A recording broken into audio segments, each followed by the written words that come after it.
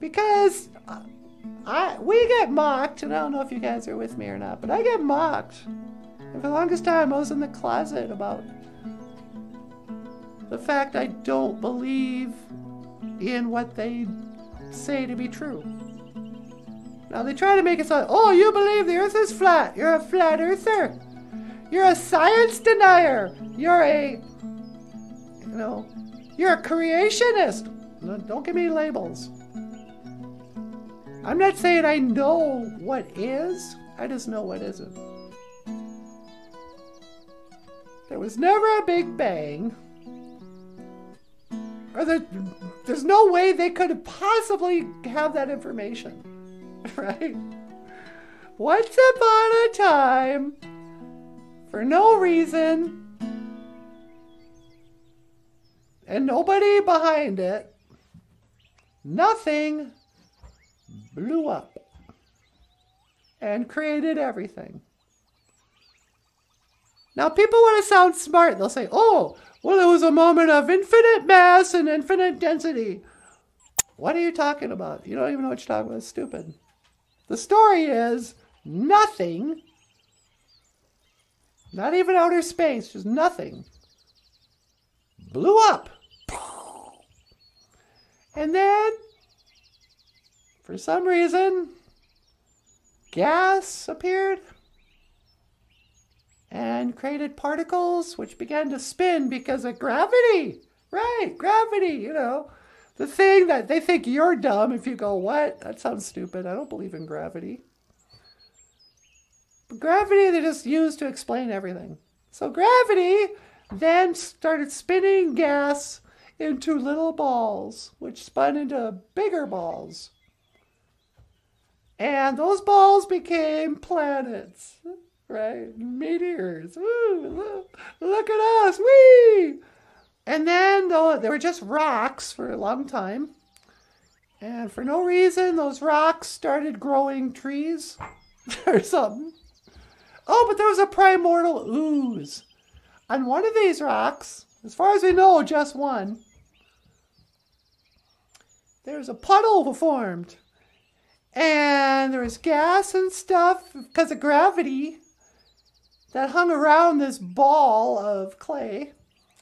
And that little gravity thing, blah, blah, blah, and lightning, and oh, look! Protein! A single cell! And that little single cell turned into two cells. And then those two cells turned into plants. And one day those plants turned into fish. Right?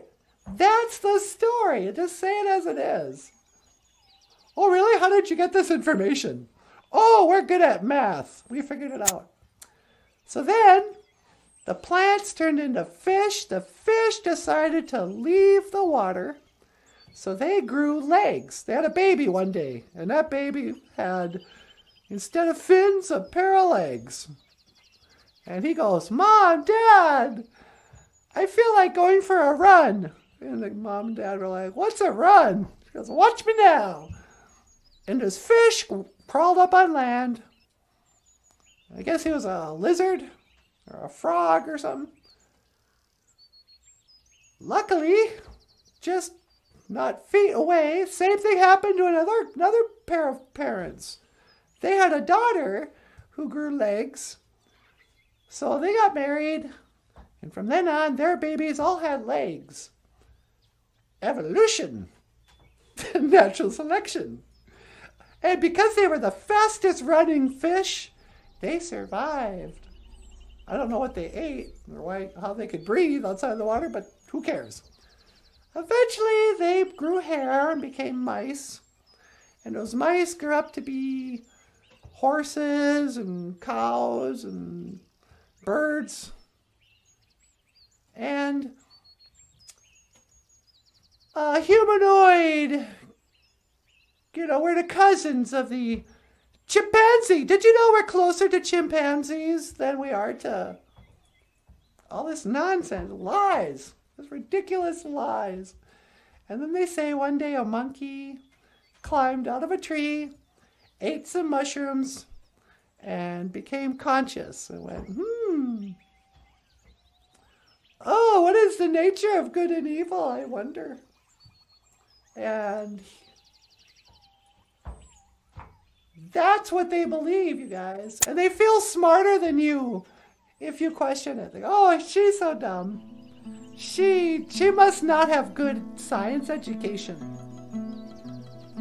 Or she would never question Einstein, this pervert who made a baby with his own first cousin. No, married his first cousin, then cheated on his first cousin with his first cousin's daughter, and gave her a baby. Einstein! Yeah, don't. That's if you want to believe in evolution, that's your guy. Or Darwin. I mean, but gravity is Einstein, you know. Nope, not me. Don't believe. I don't know what I'm doing anymore. Don't go away. I'm begging you to stay. Cause I'm gonna miss your love. Please don't go. Oh, really? Why?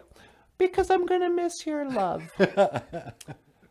The minute you, You walk walk out that door. But I gotta go to work, honey. No, I'm gonna miss your love the minute you walk out that door. hey, everybody. Hey. Won't you consider becoming a patron? That's not- Patron? no, that's not right. Right? Um, patron. Yeah. I can't even say it. Please become a patron saint and support Boozhoo Nana Boozhoo, the podcast about Ojibwe language and culture. Click the links in the description to our Patreon page.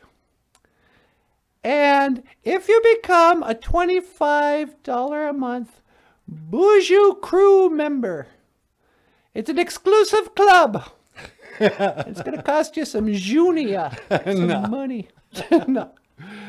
Uh, you'll get a a cup, a coffee cup. Oh. You can put your black medicine water in there. Muckety mush kiki waboo. waboo. Mush kiki. See, you're already learning Ojibwe.